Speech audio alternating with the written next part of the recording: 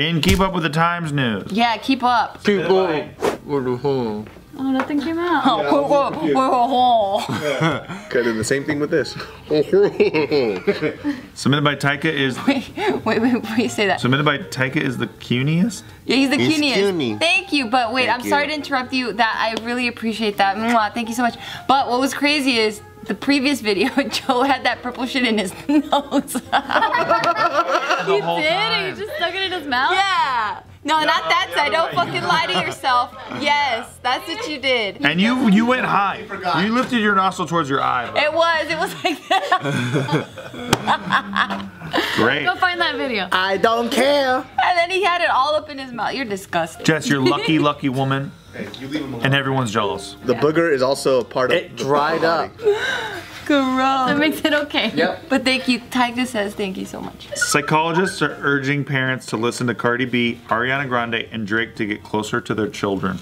Oh. oh, amazing. That's pretty cool. But there's a lot of other ways to get closer. Because I was reading Cardi B lyrics during our lunch break because um, one of you who recommended Cardi B to I think me. it was George. It was George. What the fuck? You know, he recommended Cardi B to me, and and so I, because I was gonna post Instagram. You know, I have an Instagram bit right that I do like stupid. Um, Wait, what? I do stupid filters and fuckboy shit right on my Instagram, right? And fuck yeah, exactly. Yeah, it's not really his face. So I was gonna I was gonna post some lyrics of, um, of a Cardi B uh, song, but put them in cursive. But it was just a pain in the ass to do it because the lyrics are ridiculous when you read them. It really isn't a pain in the ass. You What just is it? use your IG story, get the cursive thing, you just write it out, take a screenshot, and just upload that. Right, so that was the pain in the ass part for me because I'm okay, got yeah. Okay. One of my favorite Cardi uh, Cardi B lyrics is "My pussy's so good, I scream my own name."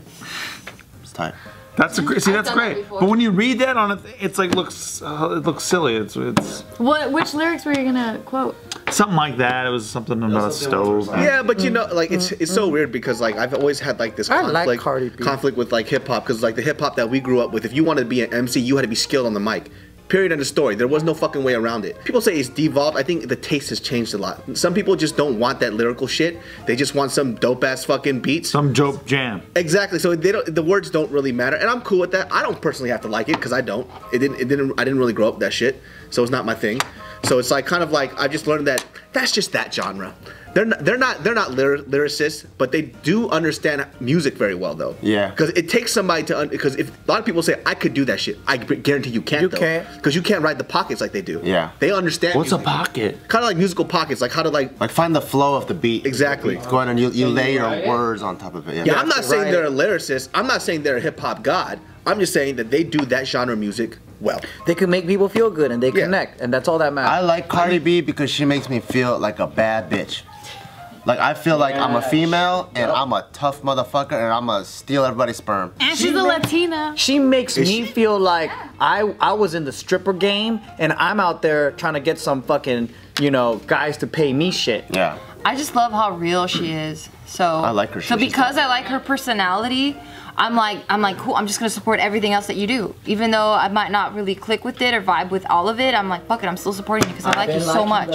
And and she sounds natural. A lot of crossover people, it sounds kind of forced. Oh, yeah. She sounds like natural. Like it's just like, Is Nicki Minaj that? No, she's like a lyricist. She's like a. She, Yeah, cause she's dope as fuck. And she could sing really. she's a fucking she's a rapper good. rapper though. Oh yeah, yeah. she's like a rapper's rapper She though. She sings really good. She sings really good. fucking great. She's like Missy Elliott. Remember her? Oh, dude, Missy. Rapper Missy? and singer. She's balling. She don't need to do shit. She, is she? yeah. Missy, yeah. All of her tracks. One Minute Man. She was great. Missy was awesome. One Minute Man. Yeah. So uh, this doctor here. That'd be funny if the parents are listening to this stuff and the kids don't even like this shit. Yeah. The kids like, I like fucking EDM.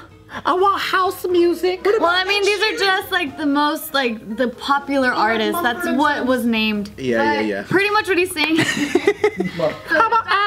he studies music as a form of communication at the University of Arizona, and he's saying that music causes people to be synchronized. So if you're listening to music with a friend, you may end up moving in a synchronized way with them, and that's associated with liking them more. So if parents are trying to connect more with their kids, They should just talk to them. yeah, but a music music is an added.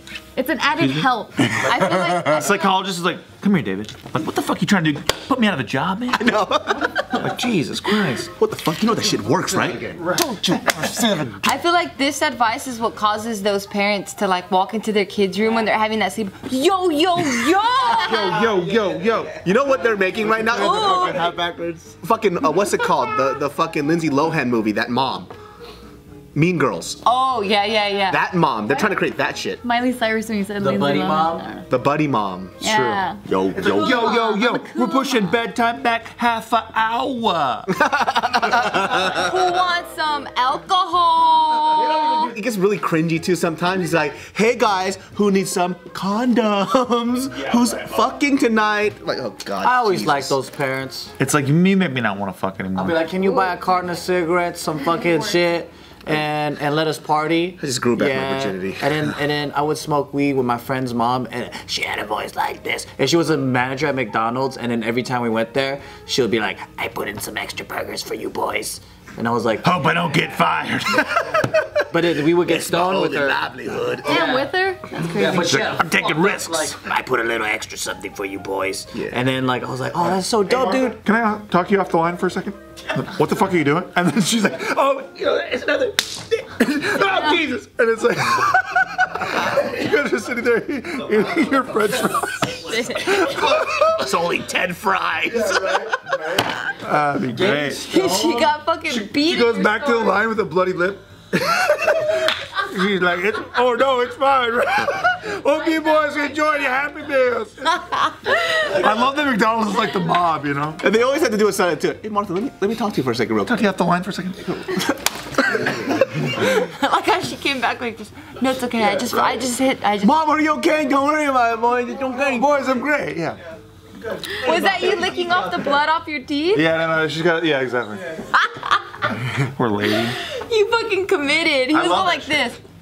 No, it's alright. No, I'm fine, Spits out a tooth. it's all good. In the sink. I remember I was getting stoned with my other friend's mom, and then she helped us get the weed, and then she was asking uh, me to like just break her off some. So I was super fucking stoned, right? And I was like trying to figure out like how much I should give her, and I gave her a pinch, and I and I fucking went like this, and then she was like, she started scolding me because it was like too small, and then I was like, I'm too high, I can't, I don't even know what I'm doing, and then I was like, you just grab whatever you want, and she's like, no, it's your weed, you take, you give me what you want, and I'm like, okay, and then I gave her more, and then she was like, that's too much. And I'm like, Oh fuck! God. But we're both high as fuck. So it's me, her, and her two How old boys. are you? Well, I was like 14. It's like 14 and a 40 year old. Yeah, yeah, basically, or maybe 30 or whatever. But we're all just, we're all stoned out of our heads, and then like, you know, we're all just looking at each other, and I'm like, we're just trying to give each other weed back and forth. And then I finally gave her enough, and then she was like, "You guys hungry?" And I was like, "Yeah." And then she made us some food. She got beat again. By the husband. Yeah, there you go. Oh no. Hey, Mary, can I talk to you after the line? Feeding these fucking kids. Yeah, exactly, yeah, exactly. It's like food costs fucking money around here. I know. My Wonder Bread? Yeah, so this was about music. Dark. It's dark. You got a ticket there, though. It's a dark world. Oh I felt safe with those parents. But if you only knew what was going on outside of the kitchen. I felt happy. I was like, I can't smoke weed with my mom. That bitch is fucking square. Oh, that's a rectangle. I did a like part one of those corners of a brownie once. Or it was like like this much, too much. Oh, that's pretty big, dude. I swear to God, like I was like doing this shit where it's like you're lining up the thing and then you just like. like you're just frozen in time for a second, like looking at like the fucking windmill shit and looking at everything and just going like, what the fuck is that? like? Why is it like this? I don't enjoy it at all. like every and every, you have to question everything. and that night I figured out like why 9/11 was probably an inside job and shit, and like I had all these cool ideas I thought, but then the next day when I read them in my phone, I was like, oh Jesus. But that's so funny too, because a lot of my friends who like who like smoke, right? They're like, dude, I smoke because some of the best ideas come. I'm like, motherfucker, I'm in that room with you. They're all stupid. They're all fucking dumb. You know what I mean? I was there. You know what I mean? You said nothing for three hours. But that's what happens when um, I get really tired too. Like when I'm so tired and like I had a dream or something, I I'll write it down like at three in the morning when I wake up, and then I, I'm like, oh, this is like the best idea of all fucking time that I've ever had. And then I read it the next day and it's like the shittiest, stupidest fucking thing. I bet you I have some right now. I know exactly what you're I have talking those. about. There was the one I looked at yesterday that I had no idea what what it meant. When handshakes go wrong. Right. And it was so genius that I woke up and I, and I wrote this down. I don't know what the fuck that means. No, I got one too. Holy shit! Hold on, I'm gonna find one. So, have you ever connected with your parents through music? That's kind of what this article is about. I never connected with my parents until like recently. I never connected with my parents at all. Period. Yeah. I connect through uh, food. Oh, I know how we connected. We, we would both talk shit about my sister. Oh, that's how it works. My my parents were musical, so we would jam together. That was fun. Oh, Yeah. a common enemy. Yeah, I couldn't connect with my parents through food or music or activities or anything. We're just way too different. Music was the main connection that I had with my dad, though. Like The Cure and Mana, like those two bands. Like anytime I heard it. That band, uh, Mana, I saw them. What? Yo, so me and Tim went to this fucking whack ass uh, waffle and beer festival, which was the ghettoest thing I've ever went to in my fucking life. There's a video, you guys can check it. Send Foods. Uh, Mana was playing. I had no, I had no idea who they were, right? But I was like, yo, who the fuck are these guys? Fucking dope. They're legendary. Who are they? Are they like Spanish rock Yeah. or? Yeah, oh, dope. exactly. Oh, dope. Like I don't even listen to that shit, right? But I was like, I don't know who the fuck these guys are, but that's fucking dope. Damn it. Why are all my friends watching the bands I like?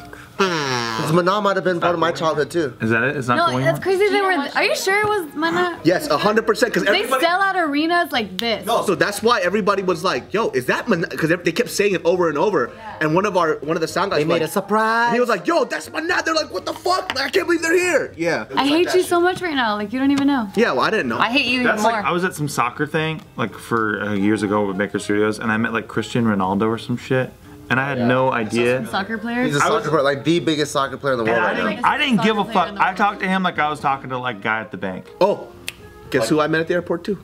Fucking uh, Ant Man, Paul Rudd. What? Yeah, just looked at him. I was like, he looks tired. I'm not gonna bother him at all. So you didn't really meet him, right? huh? No. I, I mean, I just said hi.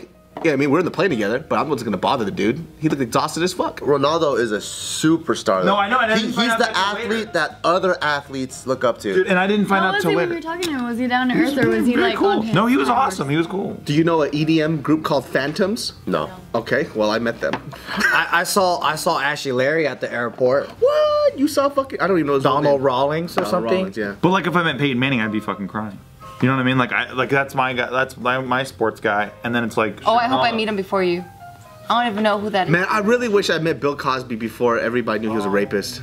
Yeah. Or I wish he never raped, and then I met Bill Cosby. yeah, yeah, that's a better. That's unrealistic. Yeah. I just wish I met him before and got Yeah. a picture with him before. No, but then you're gonna have to throw it. You can't show it to people. No, if it's Cosby in the old, like he was wearing the, one of the unthreatening sweaters. Yeah, the the, the bar sweaters. Yeah, you, that's fine. Yeah.